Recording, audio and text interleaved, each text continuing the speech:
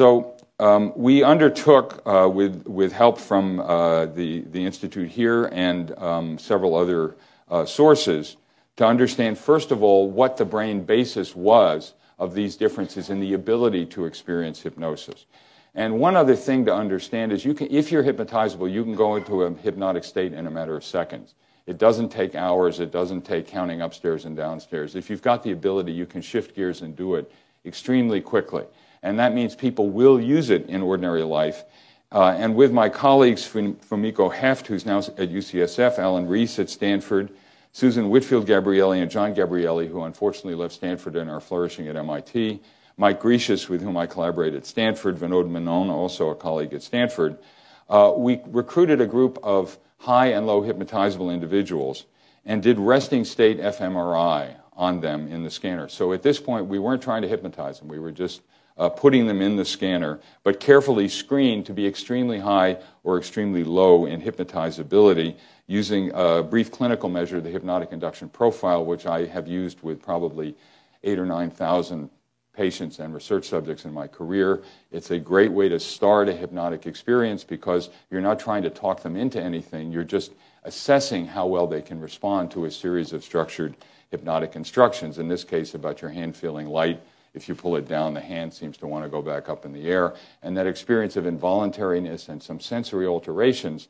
are items that we score in coming up with a measurement of 0 to 10 on this scale. So we had people who were either extremely high, median score of 8.48, uh, or low, 0.79 on the hypnotic induction profile.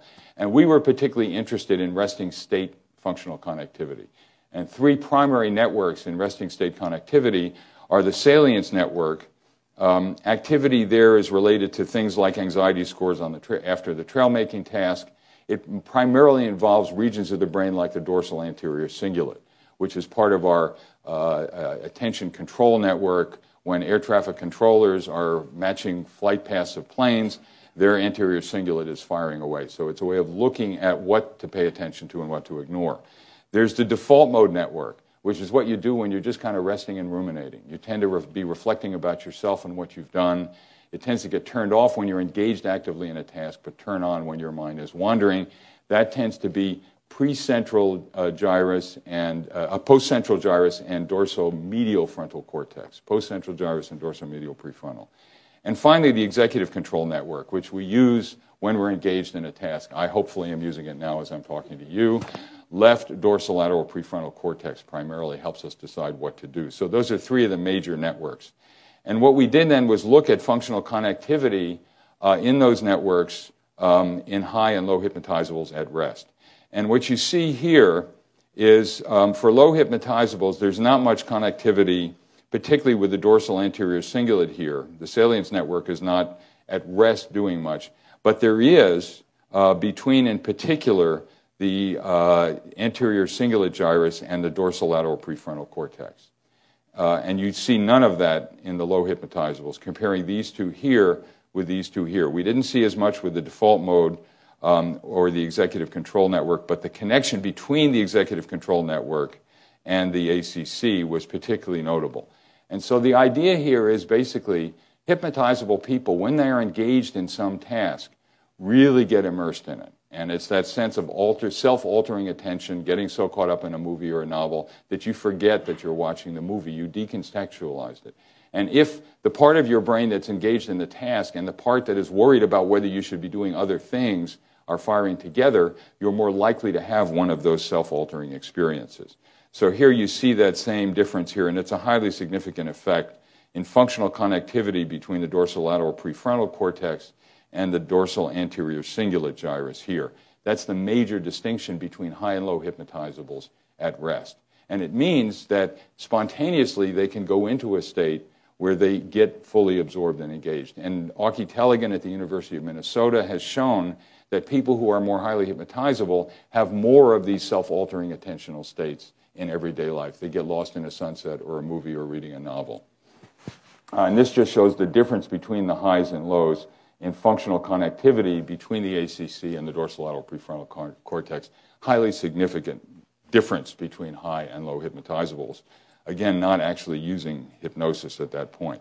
So we, we can see a, a brain difference between people who are high and low in hypnotizability. And so there are now, there have been a number of studies. I'm sorry that Dr. Bushnell apparently is ill today. I was hoping to see her.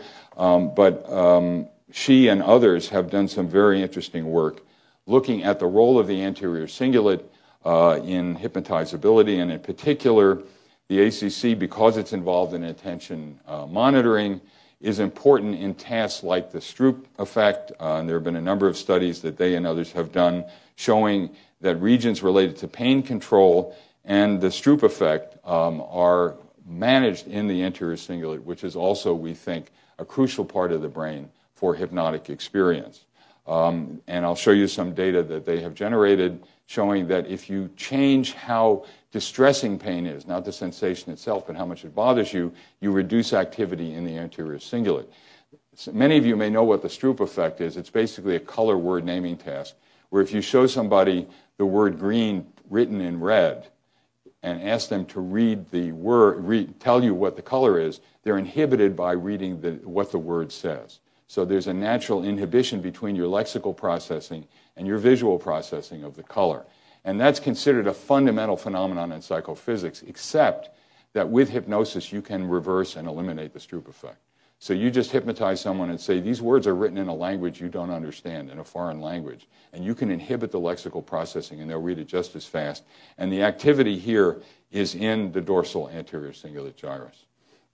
Ventrolateral prefrontal cortex inhibitory processes also related to hypnotic experience. So these earlier studies are very consistent with what we found about prefrontal cortex and anterior cingulate inhibition, and it's related also to the hypnotic reduction of the Stroop effect.